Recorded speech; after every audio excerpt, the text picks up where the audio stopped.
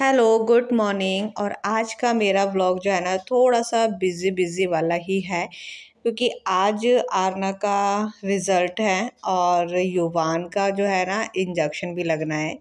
I hope Aarna का injection जो है ना, आज लग जाए। सारे घर के काम हो चुके हैं, बस सुबह युवान थोड़ा सा लेट उठता है ना। नहीं, युवान थोड़ा सा लेट नहीं उठता, वो उठ तो जल्दी जाता है मतलब आरना थोड़ा सा लेट उठने लग गई है ना तो मैंने जो ना उस बेड ठीक नहीं किया था तो वो मैं अब इस कर रही हूँ नाश्ता सब कर लिया है और अभी हम निकल रहे हैं पहले आरना के स्कूल जाएँगे। लगना है प्लस आरना का आज रिज़ल्ट भी है और पेटीएम भी है। हम्म। हम्म। मैं मैं स्कूल के जाऊँगी पापा आपके साथ के साथ फिर फिर क्या घर आ जाना हम्म क्या बोलते सो गया थी तो घर भेजते ना वहीं से भी जगह निकलना टाइम नहीं ज़्यादा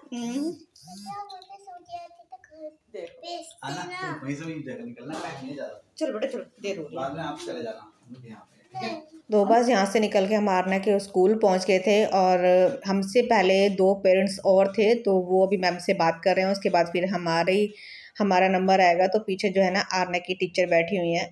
तो आरना का रिज़ल्ट लेकर सीधा हम निकल गए थे हॉस्पिटल के लिए जहाँ पर आर युवान का इंजेक्शन लगता है। तो वहाँ गए, काफ़ी भीड़ थी तो हस्बैंड ने बोला कि मैं पर्ची बनवा लेता हूँ और तुम जाके बस इसका इंजेक्शन लगवा लो। मैं जैसे अंदर घुसी तो मैंने उनको बताया कि ये दो इंजेक्शन लग चुके हैं और ये तीसरा जो था ना वो लगा नहीं है, मैं दूसरी बार आई हूँ। इससे पहले भी आई थी तो मना कर दिया, तब भी इंजेक्शन नहीं आया था। तो वहाँ के जो डॉक्टर हैं, उन्होंने बोला कि ना, ये ये वाला इंजेक्शन यहाँ नहीं लगेगा क्योंकि नहीं आ रहा है, आप इस वाले इंजेक्शन को बाहर से लगवाइए। तो फिर घर आ गए थे उसके बाद फिर आने का रिज़ल्ट अच्छे से देखा युवान को सुलाया तो पूरा दिन ऐसे हो गया था। तो ये नेक्स्ट डे है तो मॉर्निंग का टाइम है ये। और अभी जो है ना आ, बस अभी नाश्ता करेंगे हम। ये है आरना का रिज़ल्ट बहुत अच्छा आया है। बहुत अच्छा आया है। कल था इसका रिज़ल्ट और हम इसका रिज़ल्ट लेने गए। उसके बाद फिर युवान का इंजेक्शन के लिए गए ना तो क्या था कि इसका इंजेक्शन नहीं लगा। और जो रह, मैं आपको दिखा देती कौन सा वाला रह गया, क्योंकि फिर आप सब मुझसे पूछोगे ना कि दीदी कौन सा इंजेक्शन था। देखो, ये है वो जो तीन महीने में, जब बेबी तीन महीने का हुआ था, तब मैंने लगवाया था। और फरवरी में लगवाया था। तो ये तो लग चुके हैं इसके इंजेक्शन, ये वाला, ये दो लग गए, बट ये रह गया है इसका। ये नहीं लगा। और इसके लिए भी मैं कल गई थी, दो बार मैं होकर आई, कल भी गई थी। तो उन्होंने बोला कि ये जो इंजेक्शन है ना, ये आप ना यहाँ पर आ नहीं रहा है तो आप बाहर से लगवाइए। इसके बाद सीधा लगेगा छः महीने का तो मैंने पूछा कि छः महीने वाला इंजेक्शन भी वहाँ लग जाएगा? तो उन्होंने बोला कि नहीं छः महीने वाला भी नहीं लगेगा। तो ये भी बाहर से लगेगा। सीधा जब नौ महीने का हो जाएगा ना, तब लगेगा ये गवर्नमेंट वाले हॉस्पिटल में। तो बाकी जो है ना, वो लग चुके हैं। ये इसका जब जन्म हुआ था, उसका तब लगा था। उसके बाद फिर मैंने गवर्नमेंट से लगवाना शुरू किया। तो काफ़ी अच्छा है हॉस्पिटल वो। अब जाएँगे, बाहर से लगवाएँगे। देखते कहाँ पर लगवाते हैं, क्योंकि यहाँ पर देखेंगे कहाँ लगवाते हैं। और कल आरना का रिज़ल्ट है आरना पास हो चुकी है। उसके जो सारे जो पेपर हुए थे ना, एग्ज़ाम जो हुआ था, उसके पेपर भी मैं लेकर आ गई। मैंने मैंने बोला कि मैम मुझे मिल जाएँगे इसके सारे पेपर, क्योंकि उनका फिर तो कोई काम तो होता नहीं है। मैं अपने पास रख लेती हूँ, एक याद रहता है ना कि फ़र्स्ट आना का स्कूल और तो ये इसका सेकेंड टर्म इंग्लिश में और मैथ में तो ए प्लस है। इसका मैंने आपको पहले बताया था ना कि हिंदी में ये ना वीक है थोड़ी सी बहुत प्रैक्टिस क्योंकि वर्ड कभी ऐसे होते हैं ना थोड़े से डिफ़िकल्ट होते हैं बच्चों के लिए तो वो याद नहीं रहते तो इसलिए उसमें मिला इसको बी प्लस बाकी अच्छा है और तो ये था इसका रिज़ल्ट अब जाएगी। अब जाएगी स्कूल? यूकेजी में उससे उसमें जाएगी अब।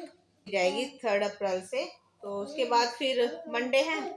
शायद उसको दो दो दिन जाएगी उसके बाद फिर छुट्टियाँ आ रही है। गुड फ्राइडे है उससे पहले भी कुछ और है। फिर लगातार चार पाँच दिन की फिर से छुट्टी हो जाएगी इसकी। क्या हो गया गोलू? ये देखो उसको देखो। अभी ये नहाया नहीं है अभी नहलाऊँगी भी थोड़ी देर पहले ही सो के उठाई है। और मैं जा रही हूँ काम करने के लिए। काम तो वैसे सारा हो चुका है मेरा। और आज हमने इसके साथ बहुत बहुत ज़्यादा मस्ती करी है। बहुत मस्ती चलती रहती है हम दोनों की। है ना बेटा? हाँ हाँ ये देखो। देख लो उसे। और मैं इसको इसलिए नीचे लेटाती हूँ क्योंकि ये ना बेड, वो बेड के लायक भी नहीं है ये। ये चारों में तकिए भी लगा लो, तब भी कोई फ़ायदा नहीं है। घूमता रहता है इधर से उधर। घूमते ही रहते हो तुम, घूमते ही रहते हो बेटा। है ना? है ना? घूमते रहते हो ना तुम? हाँ हाँ। हाँ। चलो, अब मैं बना रही हूँ। सुनो, वो ना कुलचे। मैं बना रही हूँ मटर जो मटर कुलचे मटर कुलचे बोलते हैं ना? है ना? मटर कुलचे। तो मैं मटर बना रही हूँ, कुलचे ये बाहर से लेकर आएँगे। काम करते हैं।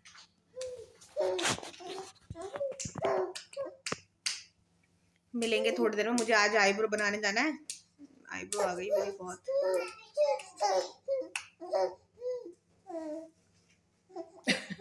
बस गलती से बोल दो बाहर जाने के लिए। इसको ये लगता है मैं भी चलूँगी। मामा ले रही है मामा लेंगी, ले रही है, आ जाओ। चलो भाई, मैं इसको लेती हूँ, ठीक है? हाँ आ जाओ। ये देखो ये बस, गोद में आ जाता तो ऐसे रहता है, शांति शांति।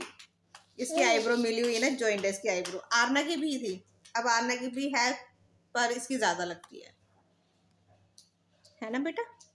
सबको हाय बोल दो हाय हाय बोल दो हाय हाय कल ये बच गई इंजेक्शन से। कौन आया? अच्छा वो। हाँ फ्लिपकार्ट से। हाँ चलो मैं आपसे मिलती थोड़ी देर में।